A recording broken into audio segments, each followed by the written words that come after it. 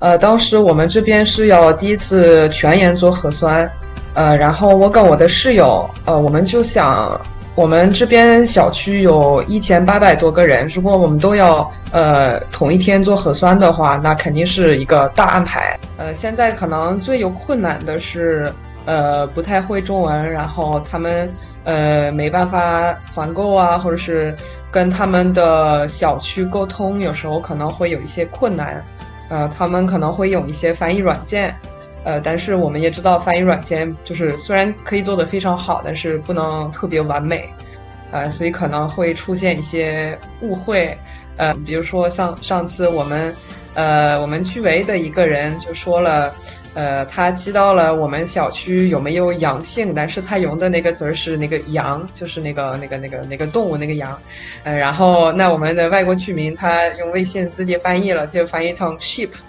然后翻译成呢什么，我们的我们的社区呃有 sheep，然后他们就想了是是什么是团购了吗？团购羊肉了吗？这这是怎么回事？然后那我就出来跟他们解释一下为什么会有这个词儿。然后呃其实没有羊肉吃的，很可惜。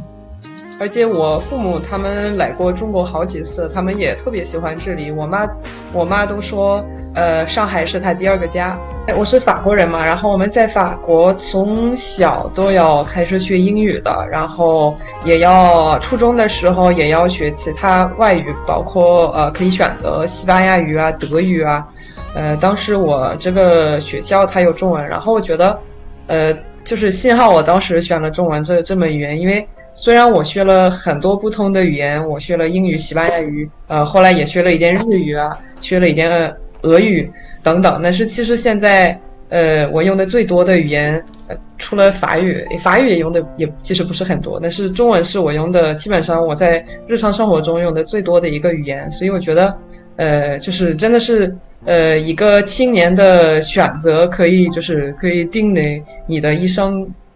有一些事情可能。疫情之前，我们看的觉得是理所当然的，是就是是我们生活中的一部分，我们也不会去把它看看大。但是现在又有一些小事情，比如说上次我呃帮我一个邻居用我的烤箱给他烤点羊肉，因为他家里没办法去烤这个肉，然后呃他非常开心。然后后来把肉给他了之后，他就给我了一瓶可乐。但是大家都很开心，他有羊肉可以吃，我有可乐可以喝。然后这样的是大家都很开心，呃，所以是很小很很小很小的一个动作，很小的一个东西呢，是让让一个人开心一天。